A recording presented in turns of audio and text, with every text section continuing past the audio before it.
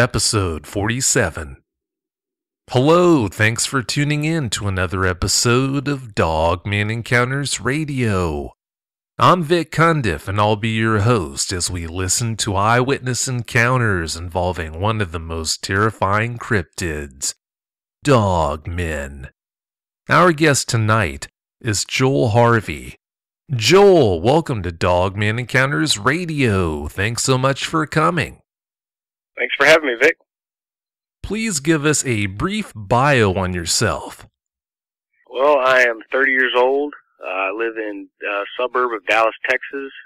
Uh, I grew up um, hunting and fishing. Uh, my family owns a, a pretty good sized uh, deer lease about two and a half hours south of here in uh, Brownwood, Texas. And um, I've I've been out there my whole life. I've I've been into sports. Uh, I am former military, and uh, that's that's about it. Uh, I went to to college and played a little football at Texas Tech University, and uh, now I work as a personal trainer uh, here in uh, Frisco, Texas. You've got a really interesting background with a lot of things that wouldn't be evident unless you did some digging. Along those lines, you've got some serious experience in the woods. Please tell us about that. Uh, well, I've I've, I've hunted all, all my life. Um, I mean, everything from from bird to deer to I've hunted hogs with with dogs and, and knives and fished. My my uncle, uh, actually, I'm I'm not going to give his name away, but uh, he's actually a big time game warden down here, and uh, I've had a lot of time to kind of hunt with him and, and learn from him, and so we we've been out in the woods, you know, as long as I can remember, and uh, I've hunted just about everything there is to hunt in Texas. You know, even as a small child, I would I'd go out in the woods and and just kind of sit there and and and just kind of become one with nature. I like when I go out hunting, I like to kind of just go out there and, and sit and then kind of let everything settle down, kind of get quiet, and kind of just become one with nature. The more you can calm yourself down, the more nature will spring back to life, and you can you can just kind of enjoy it. A lot of times, I won't even hunt. I'll, I just enjoy watching the wildlife. That's one thing I like to do, and and um, I, I I really know how to hunt just about every everything from coyotes to to, to big game to to the small game, and um, and I love it. It's it's what I do. Having spent so much time in the wilderness, what was the strangest thing until now that you had seen? that's uh, that's kind of difficult. Um, I mean, it, I've seen some strange stuff. I, I mean, I don't know how how how strange or you know out there you want me to get here, but uh, I have seen uh, a couple UFOs. Um, I don't know if that was you know you want me to get into that, but um, down at uh, Fort Benning, Georgia, actually, um, we were on just a uh, a ruck march, and I looked up in the sky and and you know was was seeing, and me and a couple buddies were seeing these things fly up over our heads. And I asked the drill sergeant, "Hey, you know what what is that?" And he's like, "Oh, uh, uh, that's that's just satellites."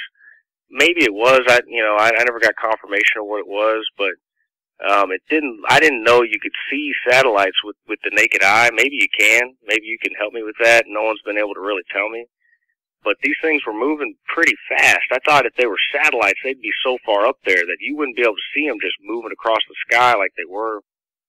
As far as just strange things in the woods, though, up until now, I've never really seen any anything too out of the ordinary. Most of it's been, you know, when I've gone out late at night, it's you know, I've whatever we were calling, whether it be coyotes or or, or foxes, you know, drawing them in with with a you know dying varmint call. We would see what we wanted to see. We didn't. I didn't see anything that was too strange. Um, I, I've had some other experiences that were were pretty strange, but um, nothing like this last one. After that strange encounter that morning on the deer lease, you can't say that anymore. That was pretty strange to say Oh, the yeah. least. Talk about the strange things that can happen to you in the woods. I know you're a former airborne, so that coupled with all of your hunting experience, another time just loitering out there in the woods, I know you've had some strange things that might not have involved seeing them, but some other way you knew that something strange was going on. Well, you know, you we'd be out in the woods and you would hear, you know, animals. I mean, I you know, all my time in the woods, I could usually pinpoint what I would hear. I, I could usually, you know, make out what it was, and most of the time it'd be pigs, or you know, sometimes you'd hear some kind of cat or something like that. But we'd always be able to see, you know, maybe some tracks, or you, you know, pigs are real. You know, they make a sound that, you know, that grunt, that little pig grunt that you, you know, you know it's pig. You can hear them squealing and run around. Um, and, you know, we hear those all the time, but usually, you know, when you're out walking around with a bunch of people, animals tend to, to run away. Um, so you, most of the things I've heard and, and down on the deer lease, um, we've got coyotes all over the place and, uh, you hear those hunting at night and that's, they make some pretty strange sounds. When they get killed, there's some pretty, pretty strange sounds, but, you know, I've grown up hearing that and so, you know, I've, I've always been able to, to know that you know whatever I was hearing, I could I wasn't too put off by it because I knew what it was coming from most of the time. So yeah, up up until now, I I haven't really heard much in the woods that I didn't know what it was because I've you know like I said I've I've grown up in the woods and hunted my whole life and I I knew what what all that stuff was. Before this encounter you had, what were your thoughts about the existence of creatures like Dog Man or Bigfoot? Uh, well, you know, I I didn't. I mean, I had heard of Bigfoot, you know, obviously, but I had never put much thought into it. Never. I I remember when I was younger, I had watched some documentary on that the Patty. Um, what's um, that Patty? That suit that's supposedly, you know, I guess it wasn't a suit. now that I've been looking looking at it a little more closely, there's just no way that could have been a suit. But uh, I had chalked that up to just a suit. You know, some guys put together. So just you know, because that's what the documentary told me. So I just you know believed that, and um, that's that was that for me. I you know just figured if if Bigfoot was in the woods, I would have seen him by now, or I would have I would have met someone that had, that had seen him, and uh, that hadn't happened. So I just figured you know, that was all just kind of tall tales or, you know, stories or just, I didn't think that that was, uh, that that was a reality. Your encounter happened on your family's deer lease in Texas, as you said. Please tell us about that deer lease so we can get an idea of what the layout of the land was like. Yeah, it's um, it's about a little over three thousand acres. Uh, it's got two big old fish tanks on it um, stocked with bass, and we're always out there fishing. Uh, the the layout it's it's slightly hilly, um, mixed in with some kind of flat flat land, uh, but it is kind of going down in the south uh, Texas of. I mean, it's about two and a half hours south uh, of Dallas on Highway 67, and it gets a little more hilly out there and and real beautiful. Uh, a lot of mesquite trees, real thick you know, once you get off the trails and kind of get into it, it's a little thicker. But yeah, that's that's about the layout. You said there are a lot of mesquite trees in that part of Texas. Is there a lack of tall trees? Is it almost all, if you do have trees, almost all lower type trees like those mesquites or what? They are a little lower. The tallest ones may be 15, 20 feet tall, but it can get pretty thick with all the brush and we have a whole lot of hogs on the property, and they'll run through this tall kind of grass, like if you've seen uh, that first Jurassic Park. I've hunted hog, and you're you're kind of wading through this grass, and you just hear these hogs just you know they they make these little tunnels through the grass, and you can just hear them just shooting in and out behind you and in front of you, and it's pretty. I mean, it's it's thick enough to where you know you can't see everything going on, but it's not. Um, it's not it's no jungle, you know, or anything like that. It's it's relatively open, um, so it, it does provide uh, more visibility than than like a dense jungle or, or something like that. But it it's uh, pretty much just like yeah, open kind of forest. If you want to hide, sounds like a really good place to do that. All right, Joel, please tell us about your encounter. Give us every last detail that comes to mind.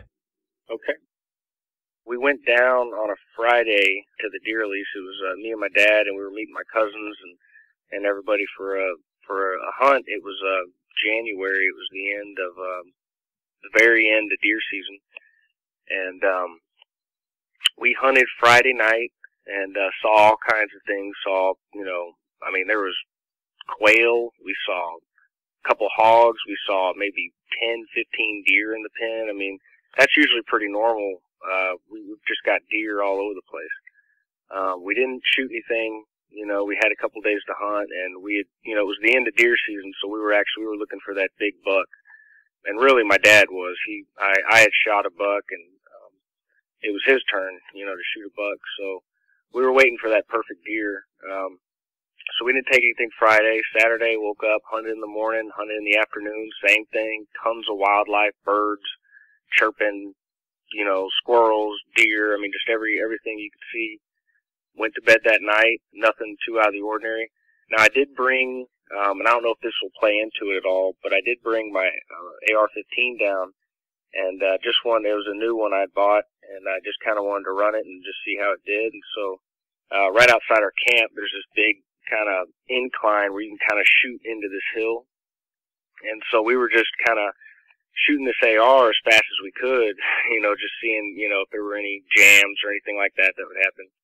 And, uh, it went, it ran smooth and, you know, I don't know if that caught anything's attention or anything. Um, but also that night, Saturday night, we had heard some coyotes and that's normal, uh, on our lease. We've got coyotes all over the place. And, um, they were just going nuts when they're out hunting and they catch something. They start howling and going crazy, and um, so we heard all that going on Saturday night, and that was cool. You know, I always like hearing the coyotes. And then we uh, woke up Sunday morning. Uh, well, I'm sorry. Before I get into Sunday morning, uh, we we still hadn't gotten anything in the afternoon. We hunted about feeders will go off in our pen at uh, I believe I want to say like 6:45 a.m and then again at like 3:45 p.m. And uh, we hadn't gotten anything Saturday on both hunts, so we really wanted to get something Sunday. So we had we had gotten two big old bags of corn, and just and the feeders throw corn anyway, but we we just really wanted to draw something in, so we got two big old bags of corn and just started kind of pouring it all around um, the uh, the feeder, the the the pen, and just all over all over the you know, the area. And, uh, so there was just tons of corn sitting out there. So we, we thought we definitely, you know, if that buck was out there, we'd, we'd find it. And, uh, so we get there Sunday morning and how, how it works is we'll, we'll drive up and we'll park the truck, uh, maybe about half a mile, maybe a little more, um, away from the pen, uh, from the, from the blind. This way we can walk up, you know, our lights and everything don't scare off any, any game in the area. And uh, so we're we're parked the truck and we're walking up, and um, I got the rifle in my hands. It's a, a 270 uh, Remington, and my dad's walking slower, about I'd say probably 15 yards behind me. I don't know how you know he walks so slow, but I guess I'm a fast walker or whatever. And uh, so we're walking, and we get about halfway there, maybe about three fourths of the way to the blind, and um, all of a sudden a rock comes in and hits right at my feet at about I mean this thing came in at 100 miles an hour and I jumped up in the air. Literally I came about a foot and a half two feet off the ground and just swung my rifle in that direction and was just stood you know just just you know just shocked just staring there. You know I mean because this wasn't I mean, this rock came in and hit so hard. This wasn't like I had, you know, scared a deer or an animal and they had kicked up some rocks and some, you know, it wasn't the sound of a rock kind of bouncing off the ground. I mean, this was the sound of something that had been thrown very hard and cracked like a gunshot at my feet. I mean, it was loud. So I spun around and I, I looked and I, you know, I didn't see anything because basically we're walking on these, um, these, uh, paths, you know, that our trucks can get through, and it's just wide enough to get the truck through. And then when you look to the sides, there's just no visibility at all. It's all just brush, and it's covered up pretty good. So I turned around and looked at my dad, and just, you know, and I'm trying to whisper, trying to just, you know, keep calm. And I was like, "Did you, you know, did you hear that?" and uh, he just kind of he's you know moseying along. I think he was a little you know hungover from the night before or whatever, and he you know he was just like no no you know yeah, apparently he didn't he didn't hear it. I don't know. I, I really don't know how that's possible, but uh, he didn't hear it, and so I just you know I just kind of turned back around and, and started walking. I just chalked it up to well, it must have been something that just you know who knows you know something just kicked kicked a rock my way or whatever. Um, the more time I've had to think about it, though, there's just no possible way that the rock was kicked, you know, by a deer running or anything like that. It was just, it was just too loud. It was thrown too hard, and it was just right at my feet. I mean, the crack went off like a firecracker right at my feet. So, um, we keep walking, and we get to the blind, and uh, we climb up in the blind, and um, we're sitting there. The sun's still down. Uh, there's there's no visibility at this point, and usually what I like to do is just put my head down on the front of the blind and I'll just sleep and I'll wait for my dad or whoever I'm with to nudge me when they see some activity and I'll peek my eyes up and I'll, you know, start scanning and, and looking, you know, whatever there is. So I'm sleeping and, uh, my dad nudges me and, uh, he's like, Joel, Joel, you know, so I, I look up and I start looking and I'm like, what you know, what, what is that? And, and my dad's like, I don't know.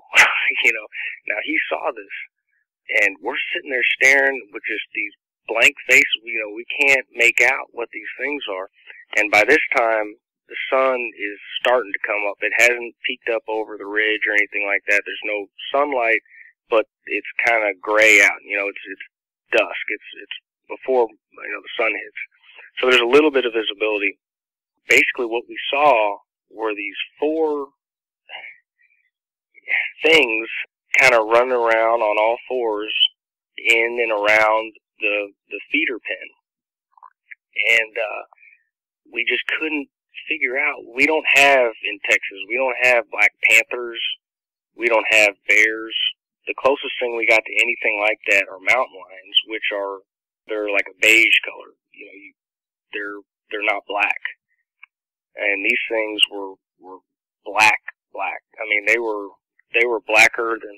I mean, I'm you know they're just darker than than night. I mean, it was it was you know I, I've listened to some shows now and um, I've heard people talk about this color and, and it's kind of hard to explain because I've seen a lot of black things in my life, but this this was definitely black. I mean, it was anyway they were real dark. It was hard to to really see, but I did get a, a good, you know, the, the their shapes, you know, the silhouettes. I could see how they were moving, and so we're staring and we're kind of going back and forth talking, and you know, my dad's like, well, you know, maybe they're raccoons, and uh, I'm thinking like, you know, there's.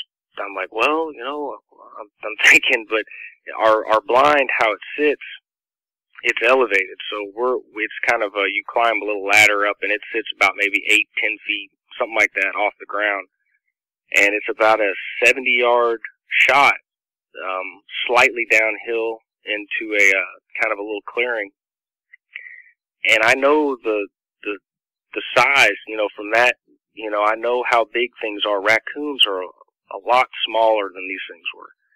Now these weren't huge. I would say that they were about three feet tall and maybe about four, maybe five feet long. They weren't big. They, I mean, they weren't. They they were they were bigger than raccoons. They were easily three times the size of raccoons, but they weren't they weren't enormous creatures. So you know, we're sitting there looking, and, and my dad's sitting there thinking of raccoons. I'm just telling him like, you know, that that those aren't raccoons. You know, so I was just praying that the sun would come up and I could get a good a real good look at, at, at these things and, you know, and find out what it, what they were. So before I got that chance, they had, and they had kind of scattered off into the tree line on the right. And just before I get into kind of what else happened, um, the way they were moving was just incredible. I mean, it was just so fluid and so the closest thing I could describe it to would be like a cat, kind of the way a cat would move. But I would go so far as to say that it was even smoother. I mean, it was it was more fluid. I mean, these things were going up and over. I mean, it couldn't have been a raccoon just based on I know how raccoons move, and they'll eat and they'll use their hands and they'll climb up the feeder and they'll sit there and, and reach in there with their hands and pull corn out of the feeder with their hands or just eat and sit on the pen and they'll you know they're they're small so they can they can sit on things and and and these weren't doing that. These were too big to sit on on the on the barbed wire fence you know the pen and they were too big to hang and, and reach their hands and they weren't really using their hands but the way they were jumping over the uh the pen was like I mean it was just so fluid. I just I've never seen I don't even think a cat I don't think a, a panther or anything could move like that so I was just fascinated. We're just sitting there with our jaws open, looking at this with no explanation, just hoping that the sun and they would hang around. And I was looking through my scope and, and just trying to really, you know, so I had a bead on these things, but, you know, we don't shoot, you know, how we hunt and how I was raised, you know, we don't shoot unless we know what we're shooting at. You don't do that. So I wasn't going to shoot, but I, I wanted to get a good view of these things. And, um, I just couldn't, I just didn't get a good enough view.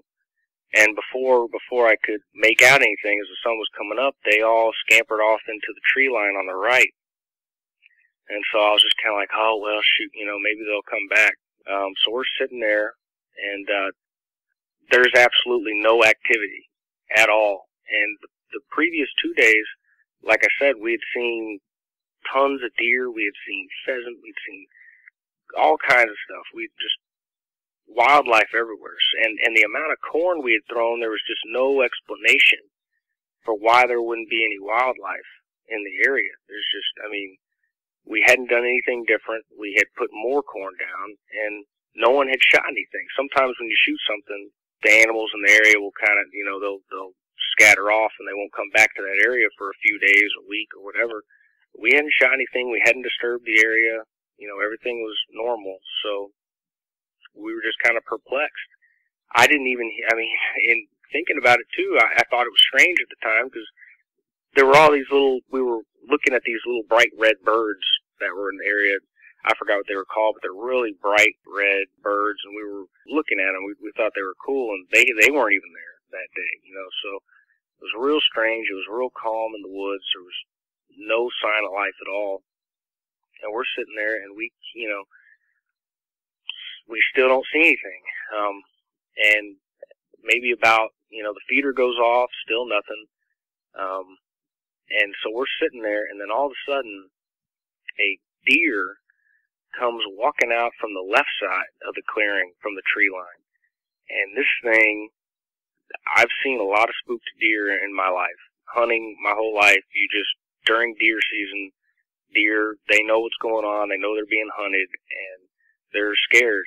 You know, they're they're they're on edge. And um, this thing though was this thing was more than scared. This thing was terrified, and not only was it just terrified, it was panting like it had been running for for for its life. I mean, its stomach was going up and down, just trying to get oxygen, just trying to, and not only that, it was kind of stumbling like it had hurt its leg or something during the run. It was just the oddest. I've never seen a deer act like this before. And so the deer kind of came out of the clearing and just panting, breathing. It was just terrified. So I'm just looking at it like, okay, well here we go. So I got my gun up and I'm looking at this thing and, and I just didn't know what to think about all this. So I'm just kind of going with the flow and it's panning, and this thing was so spooked it was looking off to the right where those creatures had run off into the tree line, and it would look back left where it had come back out. Look back right, look back left, look back. I mean, that's all it was doing the whole time. It wasn't interested in the corn. We weren't making any noise. I don't think it knew we were there, but it just seemed to be more occupied. It wasn't worried about the corn. It was just worried about what was in the tree line to the right and what was in the tree line to the left. And that was all it was worried about and it just kind of puttered around, kind of back and forth, just kind of just incredibly out of breath for about 15 minutes or so until it kind of just stumbled off back to the tree line left where it came from. Really strange kind of behavior from this deer. And so we're like, maybe it'll come back. You know, it was still, the light was just about hitting now. The sun was just coming up now. And so this deer kind of, you know, we got a good make on the deer and, and it, it kind of walked back off, stumbled back off. And then what kind of got me really thinking about all this was this fox that came up. Now this fox had come up our blind, like I said, is elevated. We have windows all around the blind, so we got 360 degrees of vision around the blind. So this fox comes up under our blind, trots underneath, walks about 15, 20 yards, and sits. And if you know anything about foxes, they're probably one of the most elusive creatures there are. You just you won't see a fox. Even when you're hunting a fox and you're calling them in, they'll keep their distance. They're they're very good sense of smell. They're very cautious. They're little, you know, they're maybe 25, 30 pound animals. They're not big, so they're very weary of anything. This fox was calmer than any any fox I'd ever seen in my life. It went, sat down. Literally, it was kind of looking up at us. Not quite, but it, it kind of was acknowledging that we were there and was just had its mouth open, just just had, it's like it had a big smile on its face, just kind of. I mean, and and it was kind of like it was hunting, kind of like it was stalking something, because it would sit there. It was just calm. It didn't care about anything, you know, and it kind of got up and kind of started trotting low, kind of low to the ground, kind of like it was stalking. And then it'd kind of go and sit back down and kind of roll on its side and just kind of sit there and and then it'd kind of get up and and do the same thing again and and so I'm just sitting here staring at this fox, just wondering why, you know. And at this point, I have my head like peeked out because I'm interested. I, I don't know why this fox is kind of acting like this. So I, I have my head outside the feeder and I'm kind of looking at it, and I got my my rifle, you know, right there with me, and I'm just kind of staring at it, trying to see if I can scare it or what's what's the deal with this thing and it just pays me no mind. It just kind of it's doing its it's in its whole own world. So I just figured, okay, whatever. We're waiting on deer, so you know I'll, I'll be quiet. I'll get back in the, the blind here, and and we'll just wait on a deer. Nothing showed up, nothing at all. After that fox had left, and he sat around again for about 15 minutes or so, and then he was gone. He ran off in the tree line to the right where those creatures had run. So we're sitting there. We don't see anything we wait, we wait. Sometimes we'll wait till nine thirty, ten o'clock. We waited till about nine fifteen, nine thirty, something like that. We get out of the blind. We're like, okay, we'll just chalk this up to a loss. There's just nothing going on today. Maybe we have a lot of uh, surrounding, kind of where our blind is. It's kind of near this road, and across the road, there's a guy that owns a lease next to us and they hunt a lot too. And I figured maybe he had shot something the day before, who knows, and kind of scared all the wildlife in the area. I didn't know what to think. So um, we get out of the blind and we start walking back to the truck, just like any other time, just normal. And again, I'm out in front of my dad, and all of a sudden, I get this dreadful feeling. I mean, I, I I'm pretty sensitive to that, and I know this wasn't, and then this was definitely something external making this. I didn't know whether it was in the spirit realm. I didn't know whether it was a physical entity looking at me. I was thinking at the time maybe a mountain lion, but all I knew was that something was staring into my soul, was really trying to. was I was eyeballing me, so I'm scanning, I'm scanning, and I keep, and I remember I was worried about my dad because I know I'm, I'm a little more perceptive of these things than he is. And so I'm looking back and making sure he's keeping up because I'm the only one with the rifle. I walk a little faster than he does. He's about 15, 20 yards behind me again. And so I just keep looking back and he's just not keeping up. So I'm, I'm walking about 15 yards, stopping, waiting. And, and I start getting this feeling coming over me that's just, you know, it's just brutal just a brutal, horrible fear. And so I start saying I'm, you know, I'm a Christian, and I start saying the Lord's Prayer, and it, you know, it starts subsiding. The fear starts kind of going away, but it wasn't after it. It kind of probed my soul that that fear had started to drop, and I started saying the Lord's Prayer that it kind of started to drop. now I know that this happened. I can't. It's kind of. It was such a. For me, it, it was such a kind of a. You know, I wasn't thinking. You know, I, I didn't know anything about Dogman. I didn't know much about cryptids. But on the way back, and I don't think I had told, I had thought about this after we had our pre-interview, but we did see a track uh, on the on the road back, and I don't know if it was. Um, I think it had rained a few days earlier, so I don't know if this was a fresh track. Now, all the time I've spent in the woods and and and other things, I you know, I had never really gotten much into tracking. I mean, I know a little bit about covering your tracks and you know walking in a straight line. Everyone you know walks on the same tracks and stuff like that, but I had never gone out and tried to identify tracks. I just something that I just never got into. You know, I mean, I'm I'm kind of more of a city boy and I do go down to the woods a lot. You know, my whole life I've done it, but I've never, you know, lived out. You know, I've just I haven't completely lived that lifestyle to where I could point at a track and say, oh, that's this, that's this, that's you know. Um, but what it looked like, what me and my, and I remember asking my dad, I brought him over and, and looked at it, was, you know, and it looked like a big mountain lion track. That's what we had chalked it up to at the time, was, uh, you know, a big old mountain lion paw. You know, I mean, it was uh, it was probably the size of my hand, my hand fully extended out, and it had. I, I mean, I, I wish I would have taken a picture of it or something. I just wasn't thinking of anything like that.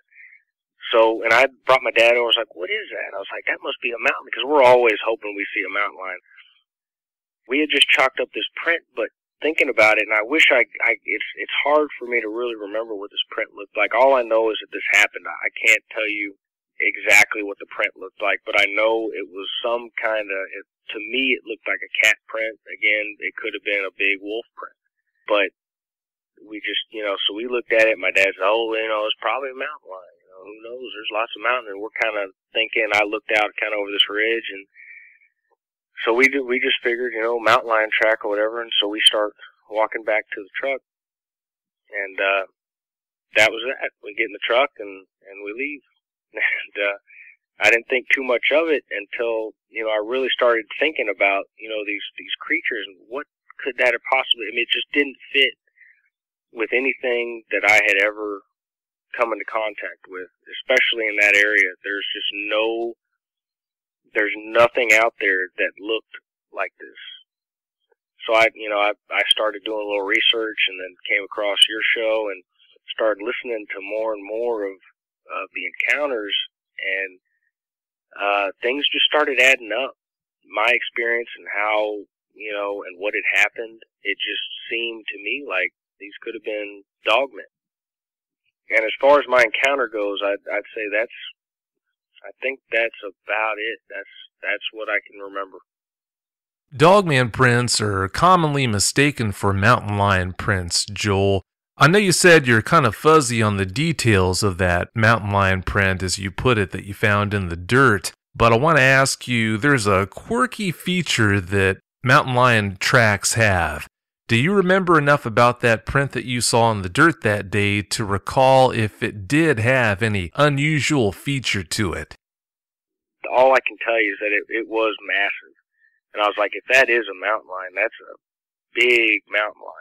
That is a huge mountain lion.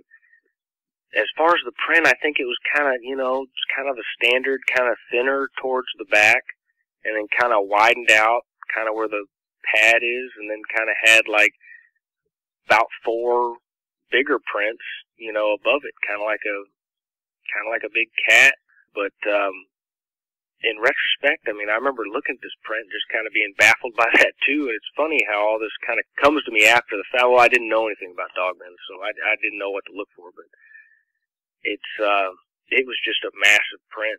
It was a big old print, and it was it kind of. I mean, from what I know of tracks, and and again, I've I've never even seen them. I mean, all my time in the woods, I've never seen a mountain lion. They're kind of they're they're incredibly elusive, and there's there's so few of them that you just never you never run across them. So I don't really know. I couldn't even really tell you exactly what a mountain lion print looks like. So that's just what I had thought it may be, but as far as any real identifying features, I just couldn't tell you. The one way that you can usually use to tell whether the print you're looking at is a dogman print or a mountain lion print is the presence or absence of claw marks. In almost every case, a dogman print, more accurately, I should say a canine type dogman print, is going to have visible claw marks at the end of the toes. For whatever reason, there are prints that have been found outside the size realm of what could be a mountain lion that didn't have claw marks. I can't explain that one, but if you do see a print like that and it's got visible claw marks in it, then that's a good way to tell if you're looking at a canine type dogman print or not. To be honest, I I, I can't. I, I want to tell you the truth, so I, I can't tell you with a hundred percent certainty that, that these had claw marks or not. I just I don't remember. Oh, that's all right. You didn't know to look for that. That's no big deal whatsoever. I've got a laundry list of questions I want to run through here with regards to that day when you had that encounter. The first one I want to ask you is Do you think whatever threw that rock at you that day intended to hit you or just wanted to scare you off? I would say that it just wanted to scare me off because with the speed that this rock was thrown, I just don't, I mean, it had pretty good control of that rock. And it hit right at my feet at, and I'm not kidding, about a hundred, hundred and fifty miles an hour. I mean, it, it went off like a gunshot. I mean, it was, it was, you know, I was just stunned. I sat there, you know, and gave my dad this look like I, need to wake up. But you need to, if you didn't hear that, you need to, you need to drink more coffee or something because I jumped, you know, like I said, two feet in the air and with the cover on the side of this road, it's, uh, it's in, you just can't see in it. You, you can't see through the, the brush. And, um, I believe, you know, I mean, things can creep up on you real quick. I mean, it, it, there's there's about like I said, there's maybe a just enough clearing to get your truck through, and as you get that truck through, I mean, there's trees just scraping your truck, and you know, it's it's a real tight squeeze with real thick brush on each side. So anything that wants you can have you. I mean, it's just you know, hopefully you can you can get a shot off, or sometimes people take a sidearm with them, and they can, you know, if, if things get real nasty, you can you can defend yourself. But um, you know, if this if this was a dog man, um, I it it just obviously just wanted to scare me. It just wanted to scare me off. Yeah, whatever threw that rock obviously had bad intentions if it hit that hard. That's a scary thought right there. You said the four black figures in the pre interview, you said that they were crawling towards the blind. Can you go into more detail on that, how they were crawling in your direction? They were kind of all around the feeder, and they they were kind of what was happening since we had spread corn all around the blind. They were moving kind of in all directions towards us, away from us, around the back of the feeder. Um, now the way they were moving was was all fours. It looked like a cat. The way they were, I mean, it it wasn't. You know, a cat will kind of go up. You know, its shoulders will kind of be moving a little more fluidly. These things seemed a little more sturdy, but incredibly graceful. They were just interested in the corn, and they were moving just very fluidly. I mean, just like they just weren't even bound by gravity. They were jumping up and over the pin, uh, like a slinky. You know, like when you see a slinky go down the stairs. I mean, it was just like, I mean, just incredibly graceful. They didn't make much of a move towards us.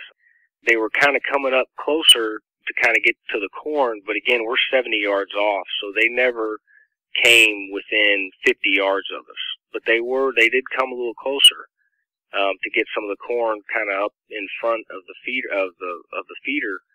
But um, as far as like coming towards us, they they they were keeping their distance for the most part. I realized the sun hadn't come up yet, and these things were blacker than black, as dogmen are commonly reported as being. But Did you ever make out any physical features on these subjects that pointed towards them being dog men?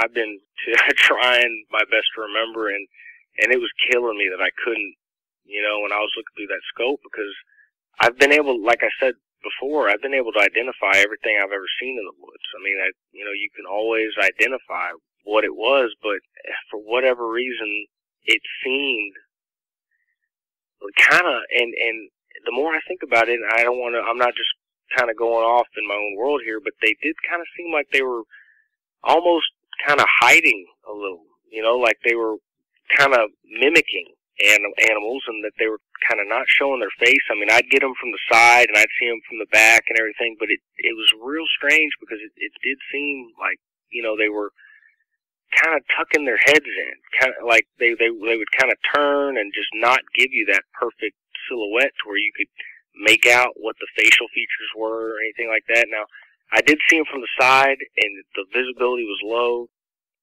but you know, I just know that they were kind of a flat back. Um, as far as the head goes, I just, I couldn't quite make out what the head looked like. And I wish I could, but I just, I can't tell you even if it had a snout or not. I just, you know, it was,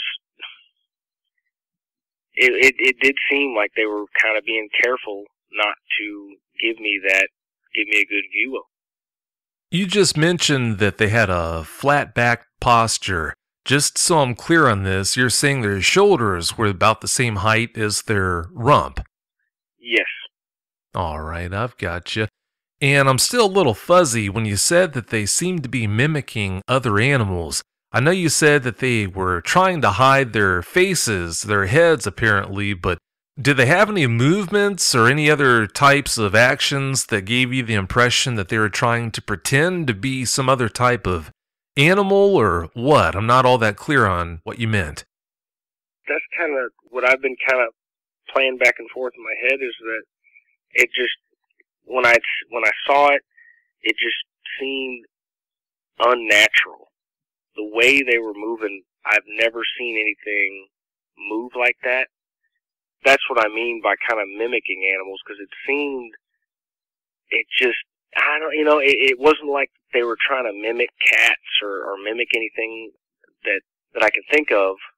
It's just that they were, it was just the way they were moving I've just never seen anything move like that. And it just seemed like if they wanted to, these things could have jumped 15 feet in the air. And I was kind of wondering why one of them didn't start climbing a tree or, you know, so it just seemed like they were keeping themselves kind of subdued and, and kind of covering up and kind of playing this kind of false role, kind of character. It just, it, it, it seemed like they, they were kind of hiding, kind of hiding something not not showing exactly what they were and kind of by you know mimicking animals i mean that they they didn't seem like they they seemed like they could have done more than what they were doing i don't know it's hard it's just it's kind of hard for me to explain it sounds like a lot of things about what you saw that morning were very hard to explain so don't feel bad about that you gave us their rough dimensions, Joel. You said they were about three feet tall by about four feet long. How much would you guess they might have weighed?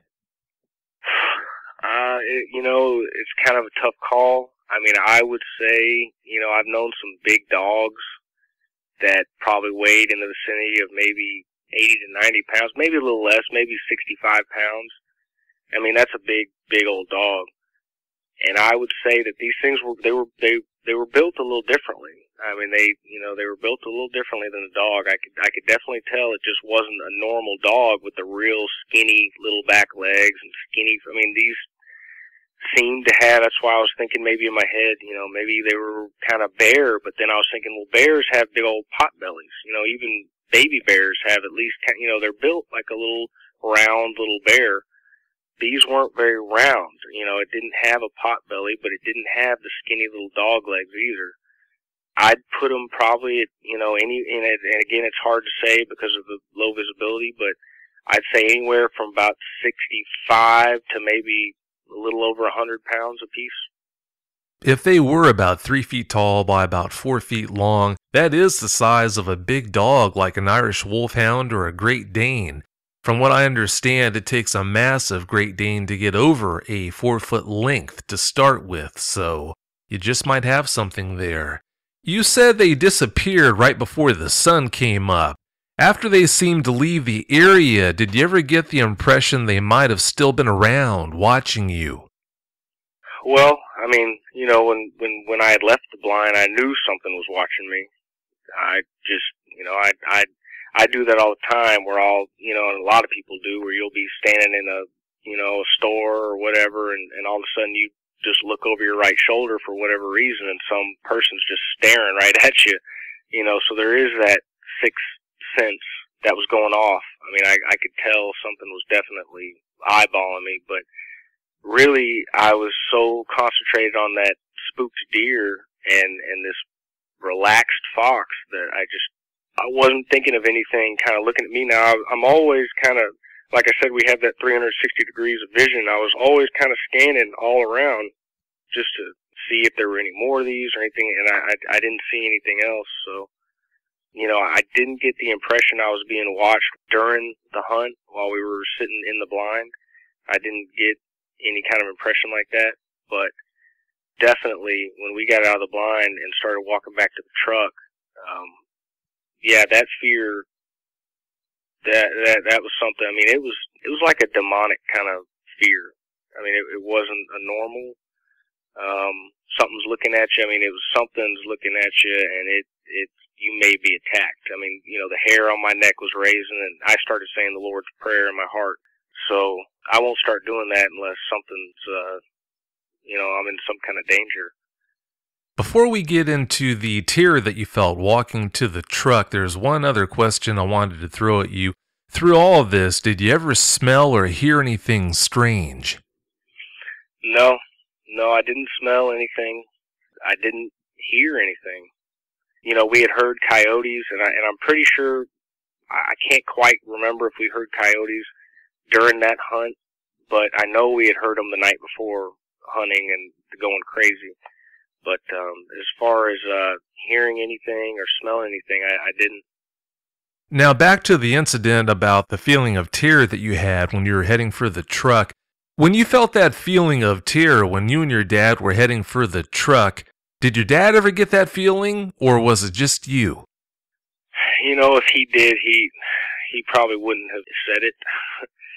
that's just kind of he's a real no nonsense um, kind of guy, and I had gotten back a couple days after, and I had asked him, I was like, you know, because at, at first I, you know, I didn't know anything about dogmen, and, and my initial research had led me to believe that maybe these were baby Bigfoots. So I was like, you know, Dad, maybe those were Bigfoot. And he just immediately was, oh, Joel, that's the dumbest thing I ever, you know, those don't exist, and blah, blah, blah, blah. And I was like, oh, okay, you know, I, and I know how he is with that kind of stuff, and so I just dropped it. You know, I, I'm not gonna push the envelope with the Bigfoot thing with him, he's he's a real practical guy, and he's he's not gonna believe anything till it sits on his face, you know. So, um, I just dropped it, but but initially my thought was maybe that these were were baby Bigfoot, and after further research, I'm I'm thinking definitely that they were they were probably dogmen. Yeah, it certainly is leaning that way, especially considering that print that you found in the dirt that seems to have been left by a dog man. We don't know that as a fact, but it sure seems to be that way. Moving on, when you first contacted me, you told me you couldn't wait to get back out into the woods. Now that you know Dogman's a reality, when you go back out there, what's going to be your main objective? Seeing one, photographing one, or what?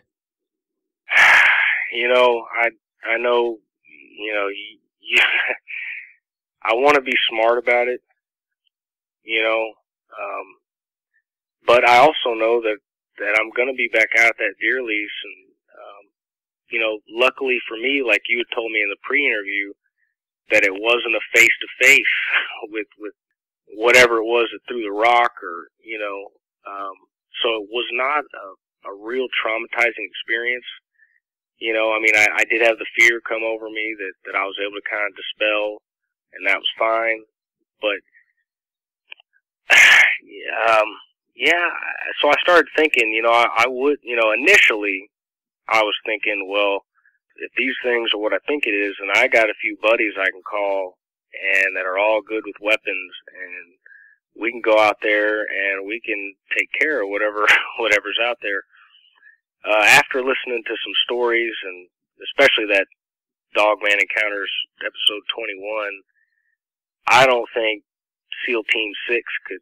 I think they'd be hard pressed to uh, to take out one of these dogmen. So I was actually thinking, you know, after after I'd kind of put that to rest, where okay, well I ain't no, you know, I'm no match for these things in their environment, even even with a AR-10 and strapped up and, and battle rattle and everything like that. I'm I'm I'm really no match.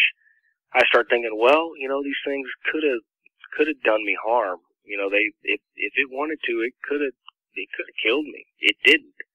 Why? You know, and then I started thinking, well, that deer that came out, you know, I mean, it, it was kind of seemed like that deer was pushed out. I mean, it was looking back and forth to the right, to the left, where it was pushed out. That's all it was interested in, and it kind of seemed like it, like an offering, kind of like, well, y'all came out for deer. Here, here's your deer. Shoot this deer and be gone. I mean, the more I put these pieces together, the more I'm kind of seeing the string that you know that runs through it. Um, so it it started. I started thinking again. Well, maybe these aren't so bad. You know, maybe whatever you know the the the mom or dad dogman that threw the rock, you know, was just trying to kind of get a read on us, kind of kind of throw that at me, kind of see what I was, kind of test my mettle or whatever, and and just kind of wanted to get a read, and and then after it found out we're we're not so bad, it kind of wanted to maybe make contact and, and wanted to kind of, you know, since we had dropped all this corn, maybe it wanted to give us a deer. And, and so I, I was thinking, well, I'd go out there and I'd drop a bunch of corn and I'd, you know, I'd sit and I'd, I'd try and make some kind of communication with the thing, just a, an acknowledgement of each other kind of thing. That, you know, nothing more than that. I don't know if these things want their picture taken. I was going to have the respect to not, not do that initially, but after talking with you and, and talking to some other people, um, and the feeling I'd got, you know, that kind of demonic, horrible feeling, um, I don't think, you know, that these things want anything to do with me. I don't know what that deer was doing being pushed out into the clearing like that. I don't know if that was an offering or maybe this is just some deer that they had been chasing that just kind of had gotten caught up in this clearing and didn't know where to go because it was surrounded. You know, I just didn't know. So I don't want to push the envelope. I don't want to go in there and do something that I shouldn't be doing because that's just stupid. If you know, I I need to be careful too. If if I you know if I want to walk the path, I I gotta tread lightly and and watch my step. And I'm not trying to get into some kind of altercation with these things. If I see one again out at the lease, then I see one then that's fine. I'll I'll pray and and hopefully I'll get over it. um, I, I love hunting, and that's being in the woods and, and just being one with nature and not hearing any cars. I mean, when you're out in the middle of 3,000 acres and, and all you, you can hear a pin drop. It's just beautiful. It's, you just, the air's fresh. I mean, it's just beautiful. There's just no possible way I'm, I'm gonna be kept from my woods and I know I can promise you my family, uh, they're not going anywhere either. So,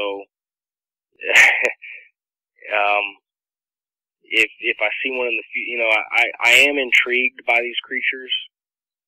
You know, if, if that's what I saw, you know, I, who, you know, in a safe setting, I I don't know if I've heard you say this or, or someone, but, you know, I, I'd love to see one in some kind of super cage where I'm completely protected and, you know, a hundred yards out and this cage is, you know, built for like a T-Rex or, you know, something like that. That, that'd be cool.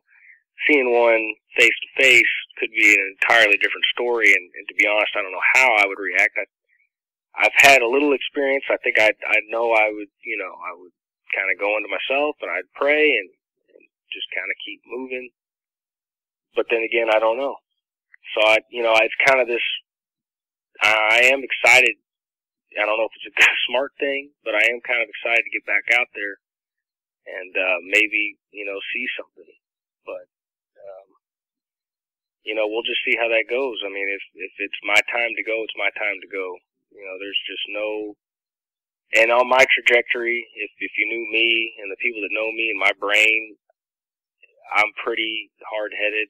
I mean, I just I've got reason to be. You know, I I um I've done a lot on my own, and you know, I'm I'm not scared of much anymore. You know, I, death doesn't frighten me. You know, it, um, you know, if, if it's your time to go, if it's written in the book, then, then it's your time to go. So I know that'd be a horrific way to go, but that's not going to stop me. You know, Joel, towards the end of the pre interview, I remember how you told me about your intentions on heading back out to the lease and doing some more hunting. And I also remember how the hair on my butt stood up when you told me about doing that because I got the impression that you didn't have any appreciation for the potential danger you might be putting yourself in by doing that. But after sitting here listening to you talk about it, I get the impression that you do have an appreciation for how dangerous that might be. Yeah. Um, something that can move like that and, uh, you know, I mean, it, it's it's a very dangerous. You know, you're dealing with some kind of animal, some kind of cryptid that uh, that we don't know about that um, has a higher intelligence than most animals. I mean, the way these were acting, covering up, so you're dealing with something that that is more intelligent than a normal animal, has all the skills of an animal in the woods, and uh, is far more athletic, agile, and elusive than, than anything we've ever seen. So we really don't know what we're going up against. And that I respect. I like to think I could get my rifle up and I could put a bead on something and, and shoot within, I could identify a target, put the bead at center mass, pull the trigger really quick. Quicker than, I mean, I could do it about as quickly as I can identify something, the gun's up in position and I can shoot and and I I'm confident I'm 100% confident in that. But when you're walking through these woods and you you can't see what's behind you or on the sides of you, there's just there's no time to even get your gun up. I mean, it's you know it it would it, it'd be all over before you knew what happened. So I mean, I, I think that'd be the the maybe the one positive about it is I a lot of people have been saying you know death by dog man would be would probably be the worst death, and and I agree. I'm sure that you know that's definitely no way to go. But I bet it'd be over pretty quick. I bet that thing probably just run by and knock my head off, and that'd be that. I, I don't think, you know, it, you know, who knows? I don't think they'd drag me back to some camp and torture me or anything like that. So, you know, I think there are worse things. You know, I, th- I think it'd probably be over pretty quick. Not that I want that to happen, but yeah, yeah, I have a whole lot of a lot of respect for these. The more I uh, look into it. You know, every time I turn around, I've got a new person telling me about how they would love to head out into their local woods and try and seek out an encounter with one of these things. As I've put out there before, it just drives me crazy when I have people tell me that. It's almost like they have no appreciation for how dangerous something like that could be. But I am glad, having said all that, that it seems like you do see the light on that now and have no qualms about how dangerous seeking out an encounter would be. Well, when when I go out next time, I'll be scanning the tree line and, and doing what I can do. But at the end of the day, I and like you said, I'm I'm not going to try and, and draw these things towards me. I'll keep an eye out if I see one. Whatever, great. You know, I mean that you know that'll be that. But I don't think I you know need to provoke anything and and since we're going to be down there um, forever, um, I you know I don't I don't need to uh, get in any kind of altercation. I don't need to rot you know to God forbid I shoot one and and I've I've heard your show where that can just you know they can seek revenge. I I don't I don't want anything like that. And and the more I learn about them, the more I do respect and, and appreciate uh, the danger therein. You know, I, I know that that if these things want you dead, there's really nothing you can do. Isn't that the truth? Something I want to put out there these things, without a doubt, they're so at home in the woods, they could take you out at will, which you alluded to earlier on in the interview here. If they want to take you out, whether you have a gun or not, it would be just so easy for them to do that. Because of what I do, I've got the ability to talk with people who have had multiple encounters with these things, encounters seemingly on almost a regular basis.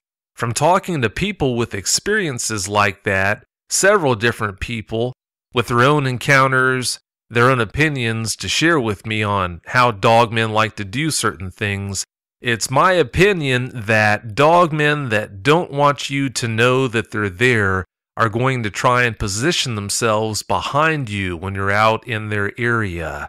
They can do that in two different ways. They can either let you walk past them and then take up a position behind you, or if you're static in the woods, they can just use cover to position themselves behind you in whatever means. Just because you don't see the dog man, that doesn't mean that there's not one in the area. Do you have any closing comments you'd like to share, Joel? I just maybe like to encourage everybody that if you are one of those people like I had initially been that, that thought, you know, well, let's get out there with some high powered rifles and, and see what this is all about. Um, I definitely would, would uh, warn against that. I think um, like you're saying right now, you just you're you're no we're no match. We're no match for them. We need to know our place. Hearing some some tales of the Native Americans, you're talking about some of the bravest warriors this planet has ever seen in in the Native American people. And when you hear about what they have to say about these things, they say leave them alone. um, so I'm gonna I'm gonna follow that advice and and you know, I'm not gonna lie. I, I there's a part of me that wants to see a dog man. I think a lot of people can understand that, but I think if if you're destined to see a dog man, then you'll see a dog man. I don't think you need to go out and look for one, though. I, I think that uh, these things have been left alone for centuries for a good reason, and um, and I, you know, I think it, it should it should it should stay that way. I, you know, until we find out more uh, we just don't know what we're up against. So uh, I'd encourage everyone to be safe and, and uh, keep the Lord in your heart and just uh, carry on. I can't tell you how much I appreciate you coming on and sharing those bits of info and that story with us. I really appreciate it. Well, thank you, Vic. It's been a pleasure. Well, thanks again.